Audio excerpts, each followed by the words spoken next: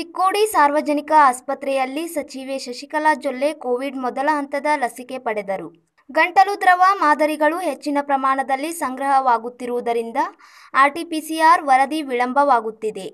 ತ್ವರಿತವಾಗಿ ವರದಿ ನೀಡಲು ಕ್ರಮ ಕೈಗೊಳ್ಳುವಂತೆ ಅಧಿಕಾರಿಗಳಿಗೆ ಸೂಚನೆ ನೀಡುತ್ತೇನೆ ಎಂದು ಮಹಿಳಾ ಮತ್ತು ಮಕ್ಕಳ ಅಭಿವೃದ್ಧಿ ಇಲಾಖೆ ಸಚಿವೆ ಶಶಿಕಲಾ ಜೊಲ್ಲೆ ಹೇಳಿದರು. ಇಲ್ಲಿನ ಸಾರ್ವಜನಿಕ ಆಸ್ಪತ್ರೆಯಲ್ಲಿ ಸೋಮವಾರ ಕೋವಿಡ್ ನೈನ್ಟೀನ್ರ ಮೊದಲ ಹಂತದ ಲಸಿಕೆ ಪಡೆದ ಬಳಿಕ ಸುದ್ದಿಗಾರರೊಂದಿಗೆ ಅವರು ಮಾತನಾಡಿದರು. ಚಿಕ್ಕೋಡಿ ಮತ್ತು ನಿಪ್ಪಾಣಿ ತಾಲೂಕುಗಳಲ್ಲಿ ಒಟ್ಟು ಇಪ್ಪತ್ನಾಲ್ಕು ಆರೋಗ್ಯ ಸಂಸ್ಥೆಗಳಲ್ಲಿ ಕೋವಿಡ್ ನೈನ್ಟೀನ್ ಲಸಿಕೆ ನೀಡಲಾಗುತ್ತಿದೆ.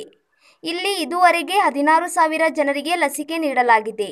ಲಸಿಕೆ ಪಡೆಯುವುದರಿಂದ ಯಾವುದೇ ರೀತಿಯ ಅಡ್ಡ ಪರಿಣಾಮ ಆಗುವುದಿಲ್ಲ. ಜನರು ಭಯಪಡದೆ ಲಸಿಕೆ ಪಡೆಯಬೇಕು. ಜೊಲ್ಲೆ ಉದ್ಯೋಗ ಸಮೂಹದಿಂದ ಲಸಿಕೆ ಪಡೆಯಲು ಬರುವವರಿಗೆ ಉಚಿತ ವಾಹನ ವ್ಯವಸ್ಥೆಯನ್ನು ಮಾಡಲಾಗಿದೆ ಎಂದರು.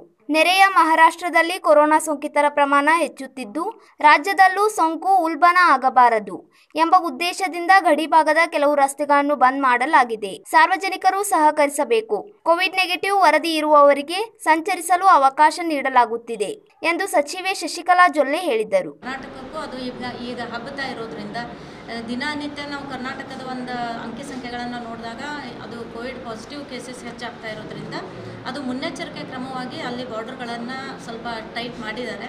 ಯಾಕಂದರೆ ಕಳೆದ ಬಾರಿನೂ ಕೂಡ ಆ ರೀತಿ ಮಾಡಿದರು. ಈ ಒಂದು ಆ ಕಡೆಯಿಂದ ಬಂದು ಈ ಕಡೆ ಹಬ್ಬುವಂಥ ಚಾನ್ಸಸ್ ಜಾಸ್ತಿ ಇರ್ತದೆ ಅನ್ನೋ ಒಂದು ಉದ್ದೇಶದಿಂದ ಮಾತ್ರ ಚೆಕ್ ಮಾಡಿ ಬಿಡ್ತಾ ಇರ್ತಾರೆ ಹೊರತಾಗಿ ಆ ಥರ ಯಾವುದೇ ಪ್ರವಾಸಿಗರ ಮೇಲೆ, ಜನರ ಮೇಲೆ ಯಾವುದೇ ರೀತಿಯ ಒಂದು ಏನು ತ್ರಾಸು ಕೊಡುವಂಥದ್ದಾಗಲಿ ಅವ್ರಿಗೆ ತೊಂದರೆ ಕೊಡುವಂಥದ್ದಾಗಲಿ ಆ ಉದ್ದೇಶ ಇಟ್ಕೊಂಡು ಯಾವುದೇ ಮಾಡ್ತಾ ಇಲ್ಲ. ಮೇಡಮ್ ಇಲ್ಲಿ R T P C R report ನಾಲ್ಕು ದಿವಸನೇ ಕೊಡಕತ್ತಾರೆ ಅದೇ ಮೂರು ದಿವಸನೇ ಬೇಕಾದ್ರೆ ಎಪ್ಪತ್ತೆರಡು ತಾಸು ಒಳಗೆ ರೀ ಇವು ತೊಂಬತ್ತಾರು ತಾಸು ತಂದು ಕೊಟ್ಟರೆ ಅದು ಏನೂ ಯೂಸ್ ಇಲ್ಲ.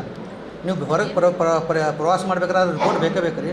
ಬಟ್ ಅದು ಮೂರು ದಿವಸನಾಗ ಬೇಕು ರೀ ನಾಲ್ಕು ದಿವಸ ರಿಪೋರ್ಟ್ ಚಿಕ್ಕ ಕೊಡಕ್ಕೆ ಕೊಡೋದು ಏನು ಯೂಸ್ ಇರಲಿ ಹೆಂಗೆ ಜನ ದಿನ ಹತ್ತು ಸಾವಿರ ಲೋಡ್ ಜಾಸ್ತಿ ಮತ್ತೆ ಲೋಡ್ ಜಾಸ್ತಿ ಆಗಿದೆ. ಹೌದು ಮೇಡಮ್ ಮತ್ತೆ ಜಾಸ್ತಿ ಜಾಸ್ತಿ ಸಂಖ್ಯೆ ಜಾಸ್ತಿ ಮಾಡ್ತೀವಿ. ಅದ್ರ ದಿನ ಸರ್ಕಾರದ ಹತ್ತು ಸಾವಿರ ಅಂತ ಚೆಕ್ ಮಾಡಿ ವೇಸ್ಟ್ ರೀ ಏನು? ಅದು ಯೂಸ್ ಆಗಂಗಿಲ್ಲ ನಾಲ್ಕು ದಿವಸ ಕೊಟ್ಟರೆ ಏನೂ ಯೂಸ್ ಆಗಂಗಿಲ್ಲ. ಈಗ ನೀವು ಅದನ್ನ ನನ್ನ ಗಮನಕ್ಕೆ ತಂದಿದ್ದೀರಿ ಒಂದೊಂದು ಸತಿ ಅದು ಆ, ಏನು ಅದು ಸ್ವ್ಯಾಪ್ ಕಲೆಕ್ಷನ್ ಇರ್ತದೆ ಅದು ಲೋಡ್ ಕೂಡ ಜಾಸ್ತಿ ಇದ್ದಾಗ ಇಂತಿಷ್ಟನೇ ಅಲ್ಲಿ ಚೆಕಿಂಗ್ ಆಗಬೇಕು ಅನ್ನೋವಂಥ ನಿಯಮಗಳು ಇರೋದ್ರಿಂದ ಆ ರೀತಿ ಆಗಿರ್ಬೋದು. ನಾನು ಇವತ್ತನೇ ಡಿ ಎಚ್ ಅವ್ರ ಹತ್ರ ಮಾತಾಡಿಕೊಂಡು ಯಾಕೆ ಈ ರೀತಿ ಆಗ್ತಾ ಇದೆ ಅನ್ನೋದನ್ನು ತಿಳ್ಕೊಂಡು ಆದಷ್ಟು ಬೇಗ ಆ ರಿಪೋರ್ಟನ್ನು ಕೊಡುವಂಥ ವ್ಯವಸ್ಥೆ ಮಾಡೋದಕ್ಕೆ ನಾವು ಕ್ರಮ ತಗೋತೀವಿ. ಈ ವೇಳೆ ತಾಲೂಕು ವೈದ್ಯಾಧಿಕಾರಿ doctor Vitthal Shinde CMO doctor Santosh Kunnure ಮತ್ತಿತರರು ಉಪಸ್ಥಿತರಿದ್ದರು.